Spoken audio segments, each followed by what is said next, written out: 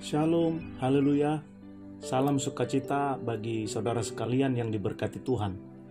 Damai sejahtera yang dari Roh Kudus kiranya melingkupi kehidupan saudara sekalian di mana pun saudara berada. Puji Tuhan. Firman Tuhan yang menjadi renungan bagi kita hari ini terdapat dalam Markus 5 ayat 21 dengan tema Yesus memiliki daya tarik. Demikian firman Tuhan. Sesudah Yesus menyeberang lagi dengan perahu, orang banyak berbondong-bondong datang lalu mengerumuni dia, sedang ia berada di tepi danau. Amin. Saudara kekasih, dalam nama Tuhan Yesus Kristus, ke mana pun Yesus pergi, orang-orang selalu datang dan mengerumuni. Dalam segala aspek kehidupan Yesus, semuanya menarik, menyukakan hati, menyenangkan, dan menenangkan jiwa. Yesus punya magnet yang sangat kuat. Kita pengikutnya juga harus bisa seperti Yesus yang punya magnet. Banyak orang suka.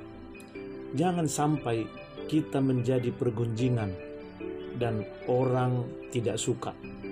Ketika kita datang, orang lain bubar karena kita tidak menyukakan hati.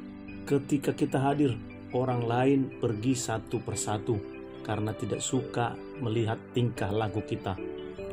Janganlah hendaknya demikian, tetapi hendaklah kita seperti Yesus. Ke mana pun kita pergi, menjadi kesukaan banyak orang. Di mana pun kita berada, menjadi berkat bagi semua orang. Yesus mempunyai daya tarik dari seluruh aspek kehidupannya dan menjadi kesukaan banyak orang.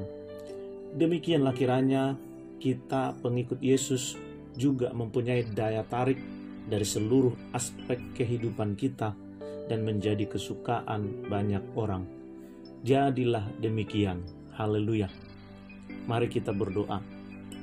Bapa yang baik, kembali kami datang menghadap hadiratmu hendak menyatakan rasa syukur kami ya Bapa, di mana Engkau senantiasa menopang dan menuntun kami.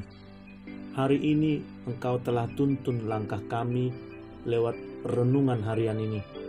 Kami dituntun untuk tetap berjalan seperti Engkau berjalan. Kami diajarkan supaya kami dapat berperilaku seperti Engkau berperilaku kami harus dapat menjadi seperti Engkau yang menjadi berkat bagi semua orang dan mempunyai daya tarik terhadap orang lain. Demikianlah kami harus dapat menjadi berkat bagi semua orang.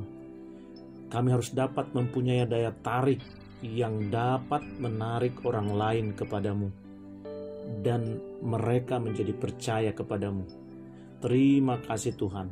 Jadilah kehendakmu bagi kami dipuji, dihormat, dimuliakan, ditinggikanlah namamu.